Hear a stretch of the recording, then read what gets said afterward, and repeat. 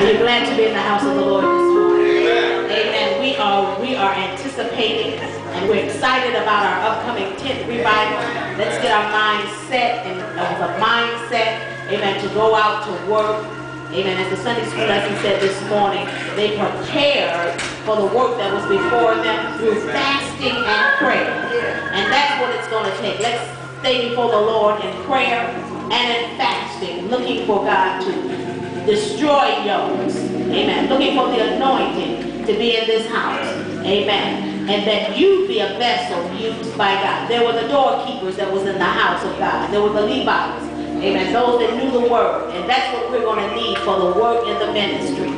Amen. Willing workers to work. Amen. That God will do the work that needs to be done. Amen. Amen. Amen. We thank God for our pastor.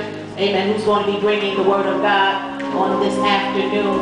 Amen. We're going to ask everyone to stand to their feet.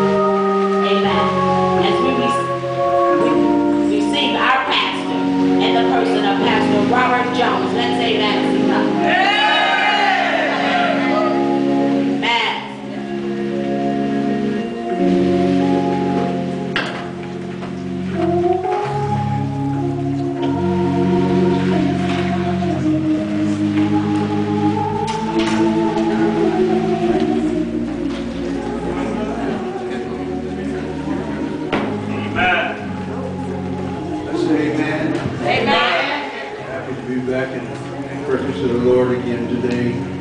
I believe the Lord has something for us, don't you? Amen. You ready to receive what God has? Amen. Okay, you can have your seats.